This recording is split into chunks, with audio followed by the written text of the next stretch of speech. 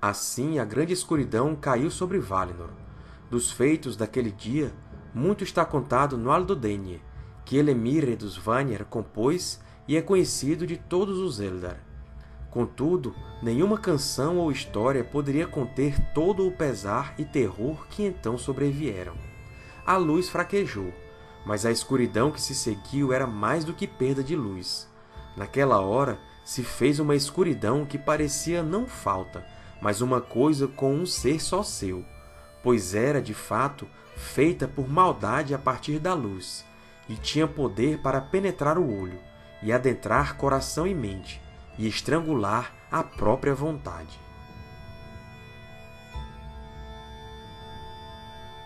Varda olhou do alto de Taniquetil e contemplou a sombra a se elevar em repentinas torres de treva. Valmar tinha naufragado no mar profundo de noite. Logo a montanha sacra estava sozinha, uma última ilha em um mundo que se afogara. Toda canção cessou. Houve silêncio em Valinor, e nenhum som se podia ouvir, salvo apenas que, ao longe, vinha pelo vento, através do passo das montanhas, os gemidos dos Teleri, feito o grito frio das gaivotas. Pois o vento soprava gelado do leste naquela hora, e as vastas sombras do mar rolavam por sobre as muralhas da costa.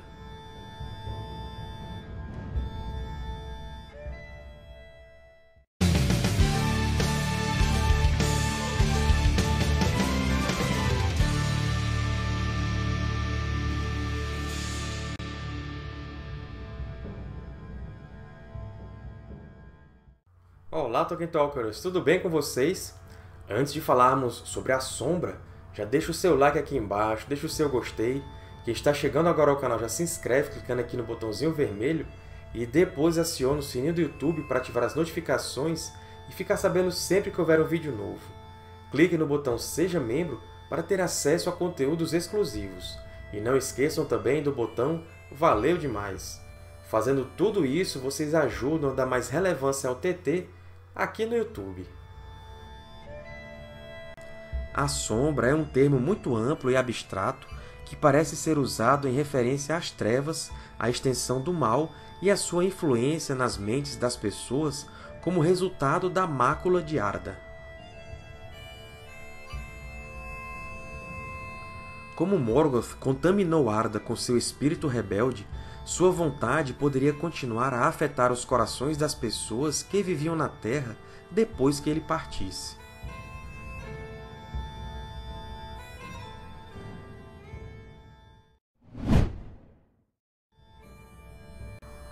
Em diferentes pontos, a sombra refere-se às trevas do inimigo, Sauron ou seus servos, os espectros do Anel, também chamados de sombras, e seu sopro negro.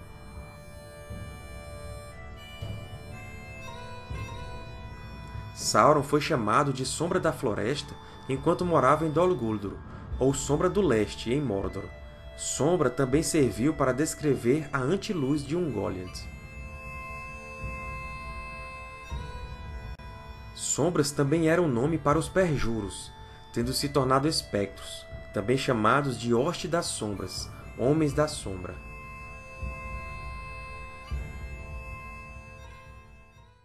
Dizia-se que os povos que estavam sob a influência desse poder corruptor estavam sob a sombra.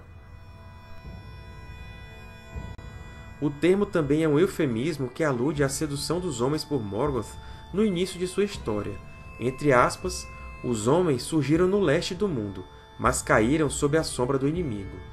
Esse uso é semelhante aos outros casos dados anteriormente, mas é mais abrangente porque todos os homens que viviam naquela época sucumbiram ao poder de Morgoth.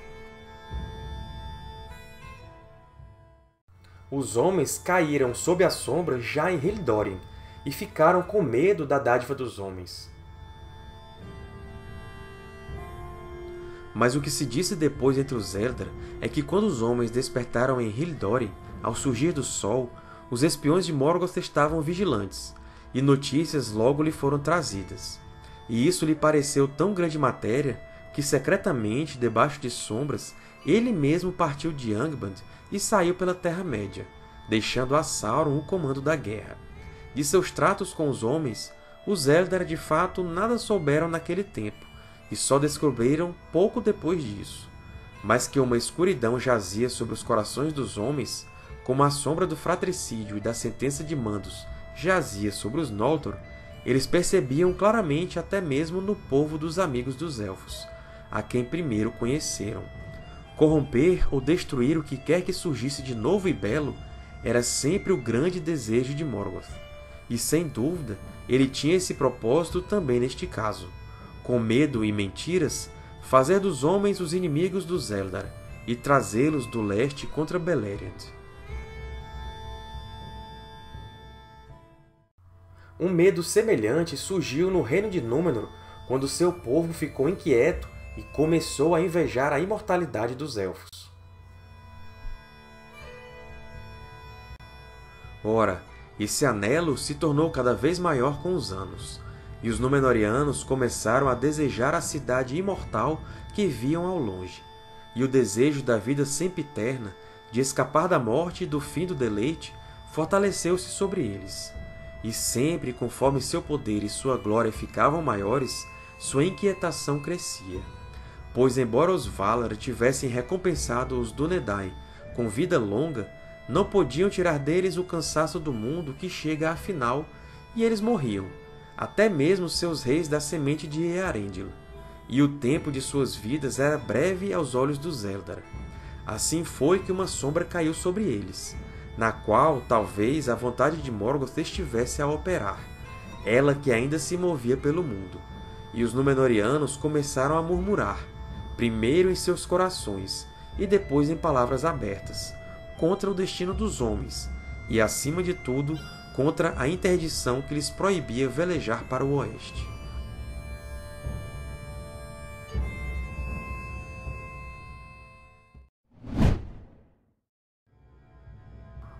Algumas raças de anãos também caíram sob a sombra, especialmente entre os clãs que viviam nas montanhas no extremo leste da Terra-média. Alguns anãos lutaram ao lado de Sauron durante a Última Aliança.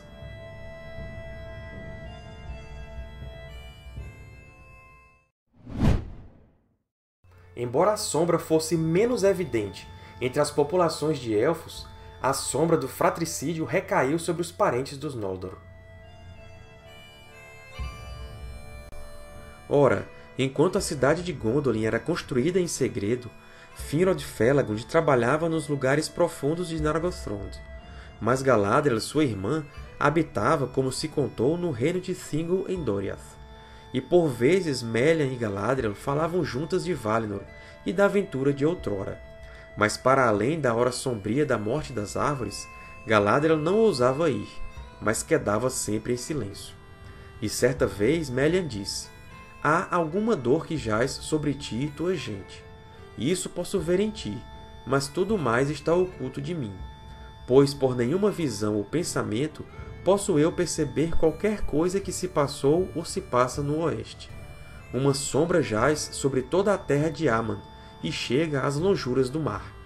Por que não queres me contar mais? Porque essa dor passou, respondeu Galadriel, e eu queria ter a alegria que restou aqui imperturbada pela memória. E talvez haja suficiente dor por vir, embora a esperança ainda pareça forte.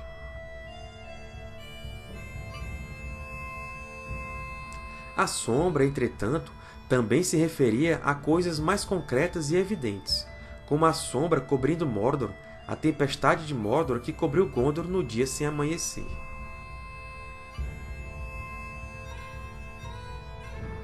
Após a morte de Sauron, a sombra foi retirada dos corações dos povos livres, e eles conseguiram lutar contra os remanescentes de suas forças. Quando ele conheceu a ruína de Durin, Gandalf o expulsou para retornar à sombra de onde veio, talvez o vazio.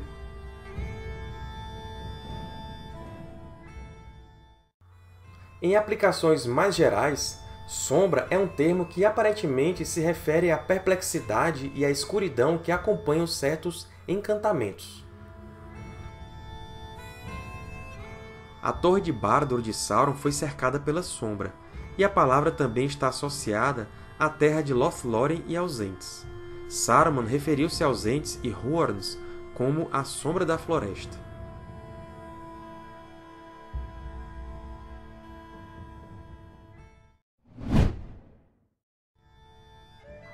Em Quenya, a palavra ruine, que significa escuridão, melancolia, é usada com conotações negativas, como Sauron.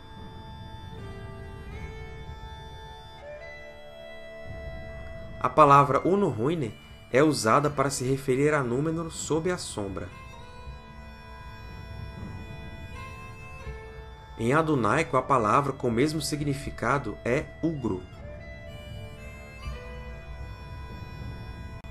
A expressão sob a sombra é Ugru Dalad.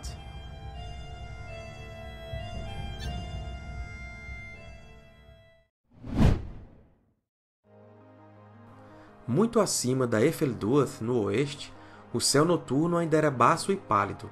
Ali, espiando por entre os farrapos de nuvens acima de um pico escuro no alto das montanhas, Sam viu uma estrela branca piscando por alguns instantes. Sua beleza lhe atingiu o coração, olhando para cima desde a terra abandonada, e a esperança retornou a ele, pois como um raio nítido e frio, perpassou-lhe o pensamento de que, no fim, a sombra era somente uma coisa pequena e passageira. Havia luz e elevada beleza para sempre além do seu alcance.